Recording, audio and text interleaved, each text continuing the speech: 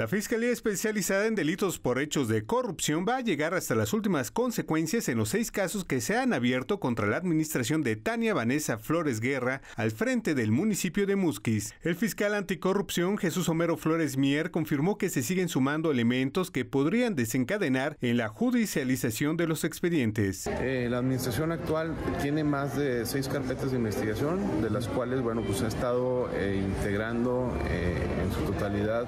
las seis, ha habido presentadas por, por diferentes instancias y por ciudadanos, entonces, bueno, pues aquí lo importante es ir continuando recabando la información y, y, bueno, pues llegar a las últimas consecuencias. En cuanto a la anunciada intención de Tania Flores de buscar la reelección por Morena, el fiscal anticorrupción reiteró que el proceso electoral no interferirá en las acciones que se tomen. Ni a desconozco si vaya a participar o no, yo creo que ese es un tema eh, muy personal o partidario que tengan, sin embargo, eh, nosotros, bueno, vamos a continuar trabajando, eso ya lo habíamos comentado algún, hace un par de semanas, el hecho de que una este, autoridad, eh, ya sea hombre o mujer, quiera reelegirse, quiera participar en el proceso electoral, pues no le da la, una inmunidad, una impunidad.